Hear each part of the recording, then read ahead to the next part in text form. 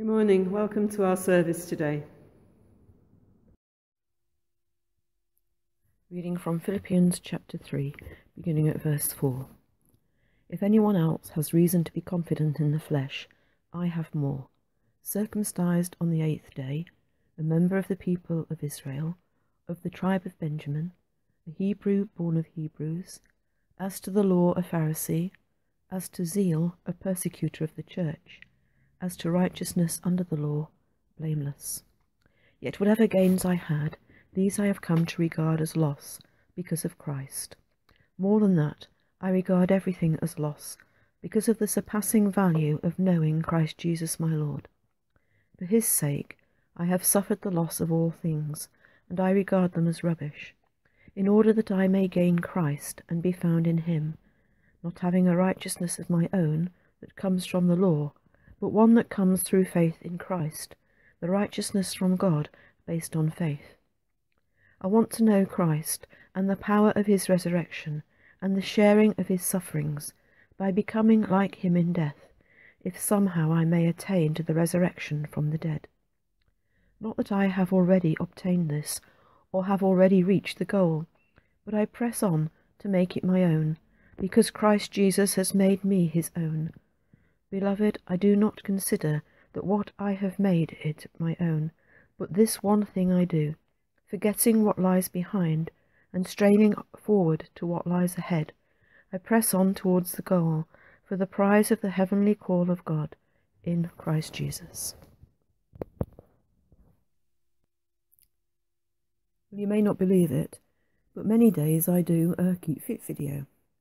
And to encourage you to keep up with what they're trying to get you to do, they intersperse the torture with some motivational sayings. Winners were once beginners. Keep going. You're already beating those who are still on the couch. Perhaps one of my favourite sayings for these days the rule of six does not apply to Mars bars. Paul is offering some motivational speech to the church at Philippi. We're continuing our series on Philippians chapter 3 now. Philippi was, you remember, a Roman colony in modern day Greece. The church at Philippi, founded by Paul and Timothy and Silas and possibly Luke, on Paul's second missionary journey. And Paul possibly visited there again, but now from prison, Paul is writing to the church at Philippi, encouraging them to keep going, to press onwards towards the prize. Our passage in Philippians today began with Paul offering, as it were, his credentials, his CV, or at least those credentials he used to think were important a member of the people of Israel, of the tribe of Benjamin, a Hebrew born of Hebrews, as to the law a Pharisee, as to zeal a persecutor of the church, as to righteousness under the law, blameless. From Philippians 3, verses 5 and 6. From earlier verses, we can see that this is written in response to events that had happened at Philippi.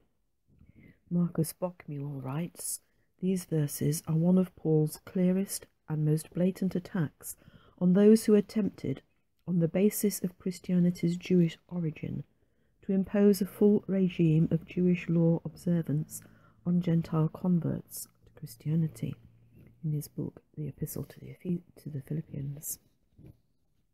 It's very similar to Paul's admonitions in 2 Corinthians. Here in Philippians chapter 3 in verse 2 Watch out, he says, for those dogs, those evil workers, the mutilation. Incidentally, all those in Greek start with the letter K. Philippians 3 verse 2.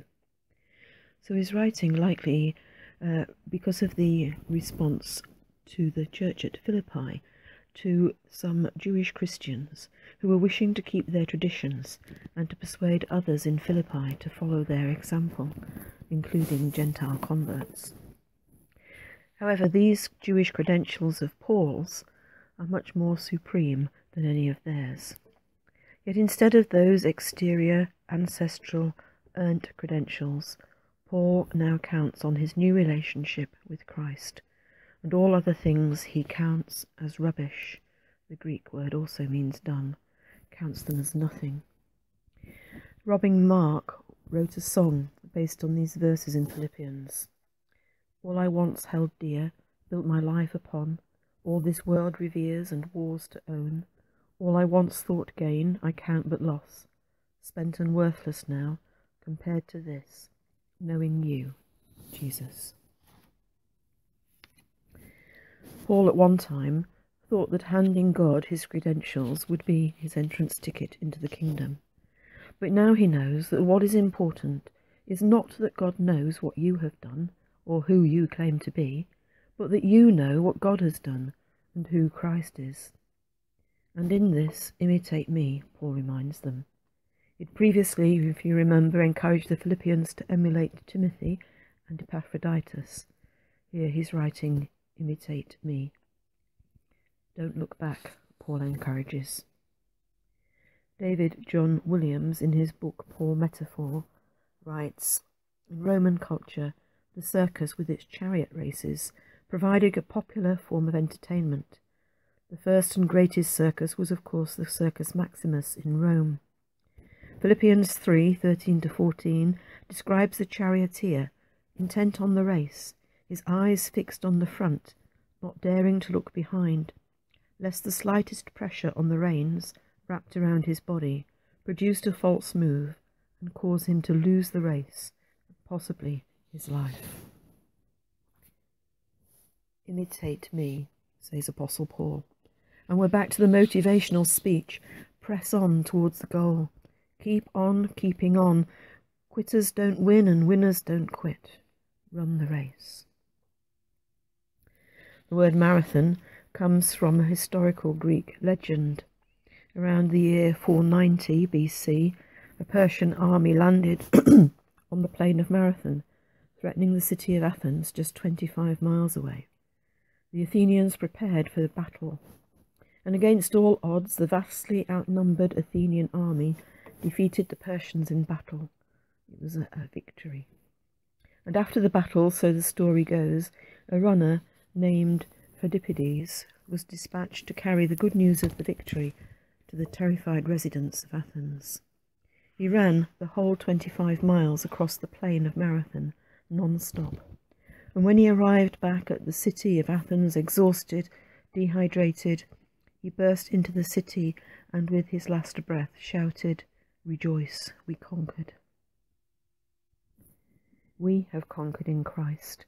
The victory for us is won in Christ and our salvation, and we keep pressing on towards the goal. We keep on running. Paul may have had the credentials of a faithful Pharisee, but on the road to Damascus he was found by Jesus. He was cared for by a Christian, Ananias, and Paul came to a new understanding of God's kingdom, the way in, and the prize goal. Imitate me, he writes. Keep on, keeping on. Robin Mark's song continues.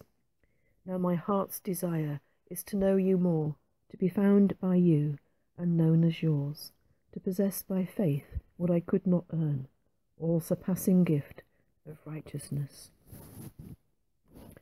So where are we? Are we running away from Christ? Are we still waiting and hoping that Christ will find us? Are we still expecting our own credentials, based on our birthright or achievements, to be sufficient for the kingdom? Or are we hopefully living in Christ and pressing on towards the goal? And are we able to say to others, emulate me in the kingdom of God? Let us pray. Heavenly Father, may we be faithful witness to the saving gospel of Christ. May we faithfully live our gospel calling and never look back, counting as nothing all our earthly pride, but looking only to you and desiring only to serve you. Through Jesus Christ our Lord. Amen.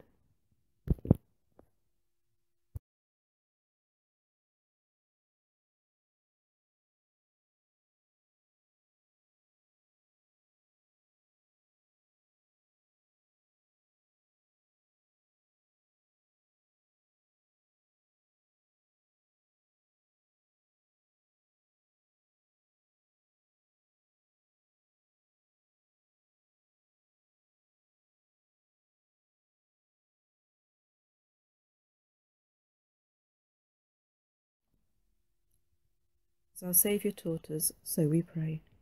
Our Father in heaven, hallowed be your name.